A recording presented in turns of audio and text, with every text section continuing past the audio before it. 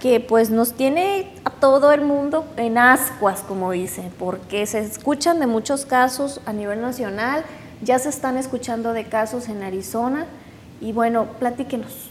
Bueno, sobre esta eh, enfermedad. volvemos ¿no? a lo mismo, pero en realidad es algo que ya hemos pasado por esto. O sea, nosotros tenemos influenza de manera anual, por eso la llamamos así, estacional.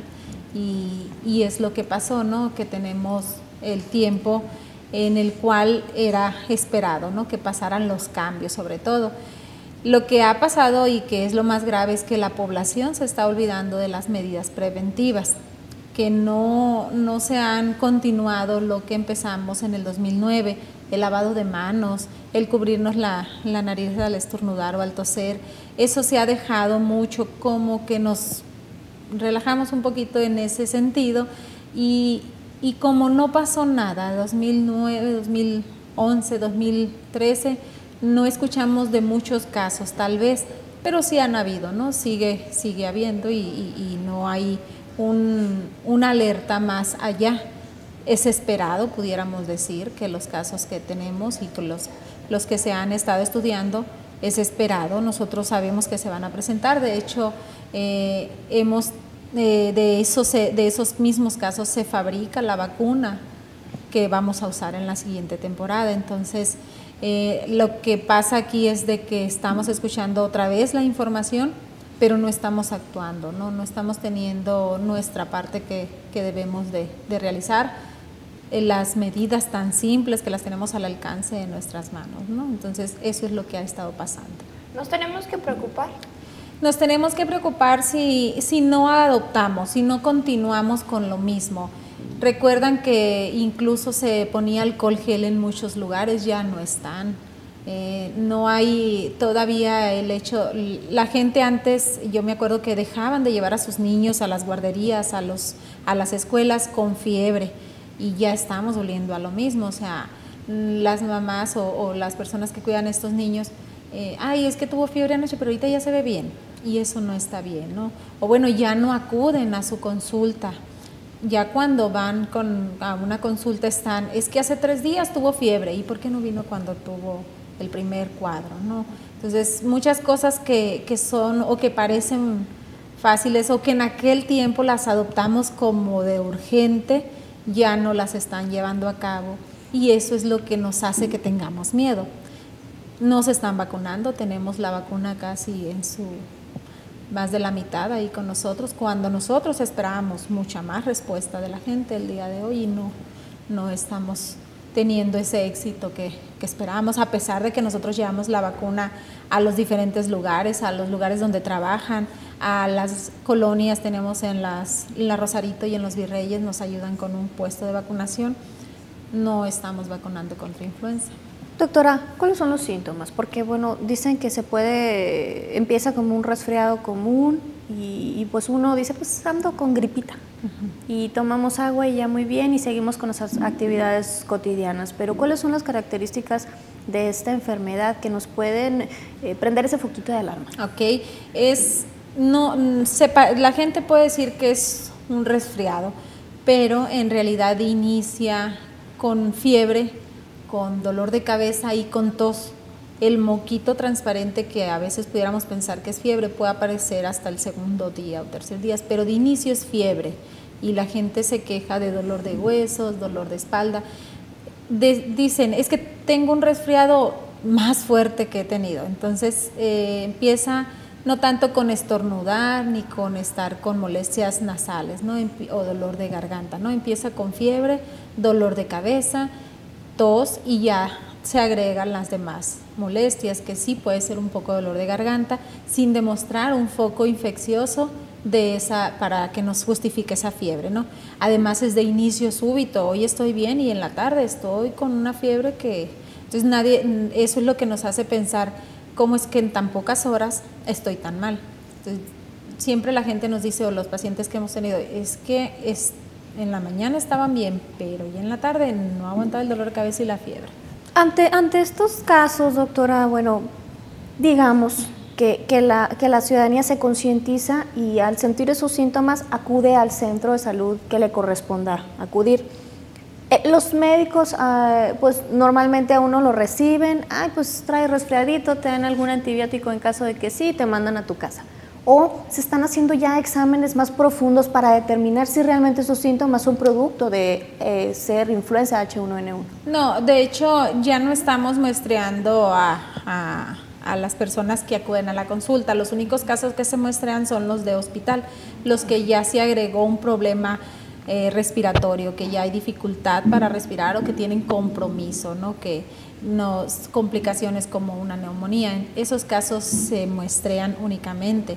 Eh, pero al acudir a una consulta, el médico debe de estar, eh, sospecha, si sospecha de influenza, él puede tratarla como influenza, se regresa a su casa con indicaciones, señora, si hay molestias, si empeoran sus, síntomas, si tiene molestia para respirar o si es un niño sobre todo, ¿no?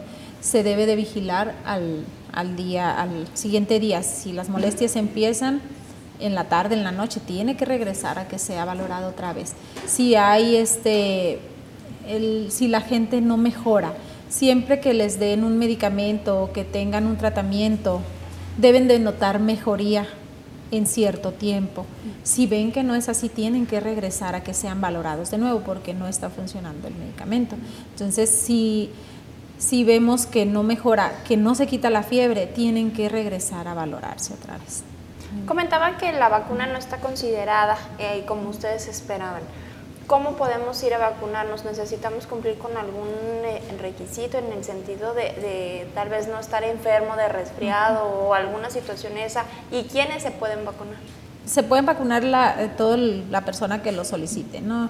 Nosotros tenemos grupos específicos que son más vulnerables o que presentan alguna complicación más rápido que las demás personas, como son los menores de 5 años, las embarazadas, las personas mayores de 65 y quienes tengan alguna enfermedad agregada, diabéticos, eh, obesidad, hipertensos, asmáticos, eh, con algún tipo de cáncer deben de ser vacunados, ¿no? VIH, personas con alguna otra condición que baje su sistema inmunológico también son personas que deben de ser vacunados. Aún así se les pide, eh, se les invita a toda la población para el que la solicite. Nosotros marcamos ese grupo de riesgo, pero está disponible para toda la población. De hecho, este, eh, lo que hemos notado es que la, gente que más se enferma es de 25 a 44 años más o menos, que a lo mejor no cumplen con alguno de los grupos de riesgo que, mencioné, pero que sí están en contacto con más gente, ese es otro, otro problema, pues que también eh, a nosotros nos marcan como trabajadores de la salud, a, todo el personal y también somos un grupo de riesgo, pues porque hablamos o vemos pacientes, pero eh, no nos damos cuenta que también profesores están con un grupo de, de, más personas, personas que atienden un mostrador, ese tipo de personas pues están expuestas. Y al fin de cuentas todos, ¿no? Estamos de cierta manera. ¿Cómo se contagia y cómo se previene? Ok, eh, se contagia muy rápido por un estornudar o un eh, toser muy cerca de las personas, es por contacto directo y la cuestión es de que el virus puede quedar en superficies por mucho tiempo. Por eso recuerdan que usábamos también el, el, limpiador o el antiséptico para, para superficies, porque es muy fácil de que llegábamos y tocábamos cierta superficie y nos llevábamos la mano a la, a la boca, a la nariz y así podíamos adquirir, podemos adquirir también la enfermedad. Entonces es muy fácil de contagiar. Si estamos en un lugar cerrado donde hay personas enfermas eh, eh, y el simple hecho de estornudar, la partícula de los, en la que viajan los virus, van a quedar cerca de nosotros. Por eso se pedía que las personas que estaban enfermas o que empezaban con algún tipo de, de resfriado no acudieran a lugares cerrados porque era muy fácil de llevarse la enfermedad a las demás personas. Además de que están en una condición en la que pueden adquirir otra, otro tipo de, enfermedad.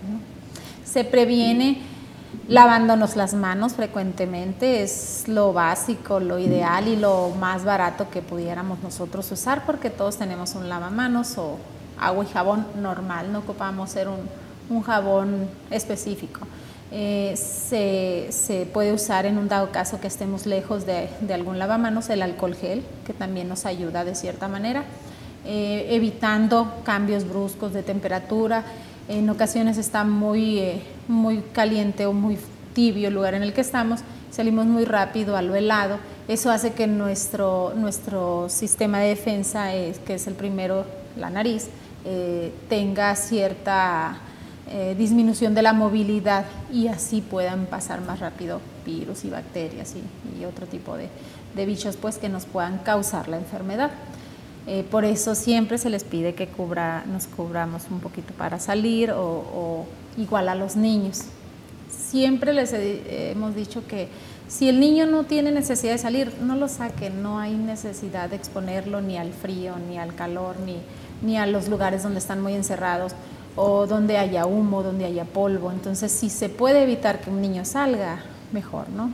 Eh, no llevarlos a la escuela ni a las guarderías cuando han tenido fiebre un día antes, ni menos la noche antes, ¿no?